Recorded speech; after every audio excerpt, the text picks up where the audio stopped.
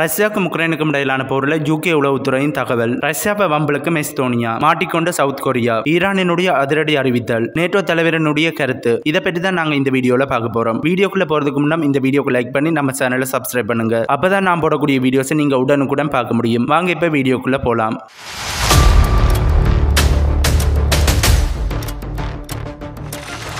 UK உளவுத்துறையின் தகவல். ரஷ்யாவினுடைய ராணுவத்தில் சேர்க்கப்பட்ட மக்களுக்கு போதுமான அளவு ட்ரைனிங் கொடுக்கப்படல இதனால உக்ரைனுக்கு எதிராக போராட முடியாமல் திணறுகின்றனர். அது மட்டும் இல்லாமல் அடிபட்ட ரஷ்ய ராணுவ வீரர்களுக்கு சரியான மருத்துவம் கொடுக்காமல் அவர்களை திரும்பவும் போருக்கு அனுப்புகின்றனர். இதனால தான் ரஷ்ய ராணுவமானது உக்ரைனை விட்டு வெளியேறுகின்றனர் என்று யூகேனுடைய உளவுத்துறை சொல்லியிருக்காங்க. யூகேனுடைய உளவுத்துறை என்றால வேலைக்கு வந்தது எல்லாமே அடிச்சு விடுவாங்க. அதே மாதிரி தான் இதையும் அடிச்சு விட்டுருக்காங்க. எங்களுக்கு தெரியும் ரஷ்யாவானது என் கேசம் பகுதியிலிருந்து வெளியேறி இருக்கிறார்கள் என்பது. இந்த விண்டர் அதாவது இந்த குளிர்காலம் ஆரம்பித்தபடியாக தான் ரஷ்ய ராணுவமானது கேசம் பகுதியிலிருந்து வெளியேறி இருக்கிறார்கள் இந்த விண்டருக்கு தேவையான ஆயுதங்களை கொண்டு போக முடியாது. இருக்கிற ஆயுதங்களை சரியாக பயன்படுத்த முடியாது. இதனாலதான் ரஷ்ய ராணுவமானது கேசம் பகுதியிலிருந்து வெளியேறி இருக்கிறார்கள் அப்படி அவர்கள் வெளியேறிட்டு இந்த விண்டர்ல ஏர் ஸ்ட்ரைக்கை தான் கூடுதலாக நடத்த போறாங்க. இந்த விஷயமானது எங்களுக்கே தெரிஞ்சிருக்கு. யூகே உளவுத்துறைக்கே தெரியல என்பதுதான் எனக்கு தெரியல. இதை பற்றி உங்களோட கருத்துக்களை கீழே கமெண்ட் பண்ணுங்க. அடுத்தது ரஷ்யாவை வம்பலுக்கு எஸ்தோனியா ஐரோப்பிய யூனியமானது ரஷ்யாவினுடைய கச்சா எண்ணெய்க்கு பிரைஸ் கேப்பை நிர்ணயித்திருந்தார்கள். அதாவது ரஷ்யாவினுடைய ஒரு பேர கச்சா எண்ணெய்க்கு அறுபத்தஞ்சு டாலர் ரெண்டு பிரைஸ் கேப்பை நிர்ணயித்திருந்தார்கள். அறுபதுல இருந்து எழுபது டாலர்ஸ்க்குள்ள வரும். இப்படி அவர்கள் பிரைஸ் கேப்பை நிர்ணயித்தவுடன்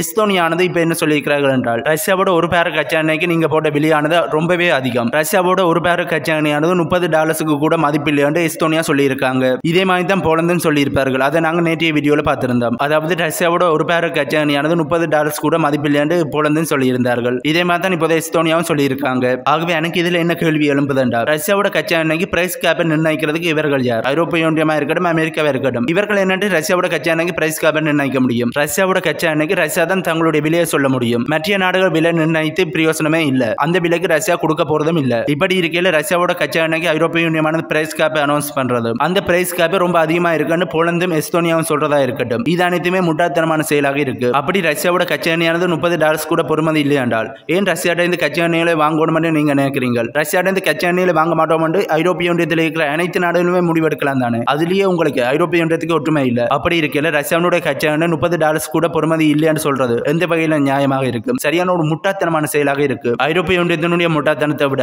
எஸ்தோனியா போலந்தினுடைய முட்டாத்தனம் தான் ரொம்ப அதிகமாக இருக்கு. இதை பற்றி உங்களோட கருத்துக்களை கீழே கமெண்ட் பண்ணுங்க. அடுத்தது மாட்டிக்கொண்ட சவுத் கொரியா. ரஷ்யாக்கும் உக்ரைனுக்கும் இடையிலான போர் ஆரம்பிச்ச பிறகு ரஷ்யாக்கு எதிராக நிறைய நாடுகள் பொருளாதார தடையில போட்டாங்க. அது மட்டும் இல்லாமல் நிறைய நாடுகள் ரஷ்யாவினுடைய கச்சனையே வாங்க மாட்டோம் என்று சொல்லியிருந்தாங்க. முக்கியமாக அமெரிக்காவை சொல்ல முடியும் யூகேவை சொல்ல முடியும் ஐரோப்பிய ஒன்றிய நாடுகளை சொல்ல முடியும். இப்படி இருக்கையில அமெரிக்காவானது ரஷ்யாவினுடைய கச்சா மறைமுகமாக வாங்குகிறார்கள் என்ற நியூஸ் வந்திருந்தது. அதே மாதிரி தான் யூகே வாங்குகின்றது என்ற ஒரு நியூஸ் ஆனது வந்திருந்தது. இப்படி அந்த லிஸ்டில் சவுத் கொரியாவும் அட்டாகி இருக்கிறார்கள் இந்த மூன்று நாடுகளுமே மறைமுகமாக ரஷ்யாவினுடைய கச்சா எண்ணெய்களை வாங்குகின்றனர். மறைமுகமாக வாங்குகிறார்கள் என்பதை நாங்கள் கொஞ்சம் விளக்கமாக பார்ப்போம். ரஷ்யாட்ட இந்த ஒரு நாடு கச்சா எண்ணெய்களை வாங்கினால் அந்த நாடு வாங்கிய ரஷ்யாவினுடைய கச்சா எண்ணெயை மற்ற நாடுகள் வாங்குகின்றது. இதைத்தான் மறைமுகமாக வாங்குகிறார்கள் என்றதை சொல்றாங்க. உதாரணத்துக்கு சொல்ல போனா ரஷ்யாட்ட இந்த இந்தியாவானது ரஷ்யாவினுடைய கச்சா எண்ணெய்களை வாங்கினால் அப்படி இந்தியா வாங்கிய ரஷ்யாவினுடைய கச்சா எண்ணெய்களை வேறு நாடுகள் அமெரிக்கா யூகே சவுத் கொரியா போன்ற நாடுகள் இந்தியாட்ட இருந்து வாங்குகிறார்கள். ஆனால் அவர்கள் வாங்குறது ஆட்ட கச்சா எண்ணெயை ரஷ்யாவினுடைய கச்சா தான் அவர்கள் வாங்குகின்றனர். அதாவது நேரடியாக ரஷ்யாட்ட இந்த கச்சா வாங்காமல் ரஷ்யா எந்த நாட்டுக்கு கொடுக்குதோ அந்த நாட்டிட்ட இருந்து ரஷ்யாவினுடைய கச்சா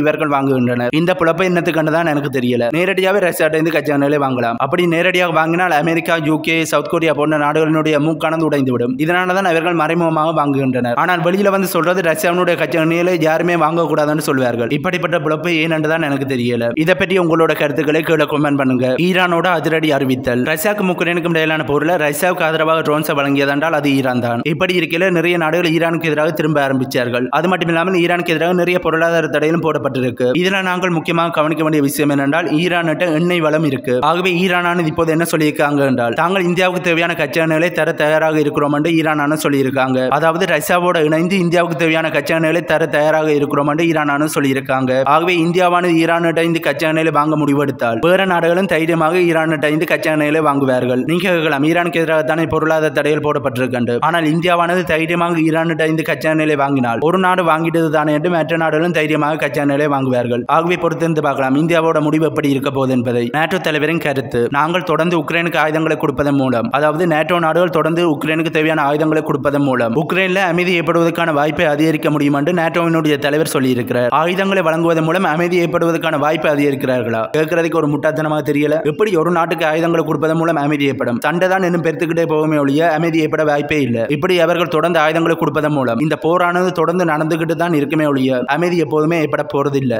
இந்த ஒரு கருத்தை அதாவது ஆயுதங்களை தொடர்ந்து கொடுப்பதன் மூலம் அமைதி ஏற்படுவதற்கான வாய்ப்பை அதிகரிக்க முடியும் என்று நேட்டோ தலைவனுடைய கருத்து. ஒரு முட்டாத்தனமான கருத்தாக எனக்கு தோணுது. இந்த கருத்தை கேட்கும்போது உங்களுக்கு என்ன தோணுது என்பதை கீழே கமெண்ட் பண்ணுங்க. சரி நேட்டோனுடைய தலைவர் தான் இப்படி முட்டாத்தனமாக செய்யப்படுறான்னு பார்த்தா ஐரோப்பிய ஒன்றியமும் முட்டாத்தனமாக தான் செய்யப்பட்டு கொண்டு இருக்கு ஆகவே இவர்களோட இந்த முட்டாத்தனமான நடவடிக்கையை பார்த்து எங்கள்கிட்ட இருக்கிற அடிப்படை அறிவு கூட போயிடும் போல இருக்கு இருக்கு. இதை பற்றி உங்களோட கருத்துக்களை கீழே கமெண்ட் பண்ணுங்க. இது போன்ற ரஷ்யாவுக்கும் உக்ரைனுக்கும் இடையிலான செய்திகளை உடனுக்குடன் தெரிந்து கொள்ள நம்ம சேனலை சப்ஸ்கிரைப் பண்ணி பக்கத்தில் இருக்கிற பெல் ஐக்கானும் கிளிக் பண்ணி வையுங்கள். அப்போதுதான் நான் போடக்கூடிய வீடியோஸை நீங்கள் உடனுக்குடன் பார்க்க முடியும். இன்னொரு ஒரு வீடியோவில் உங்களை வந்து சந்திக்கின்றேன்.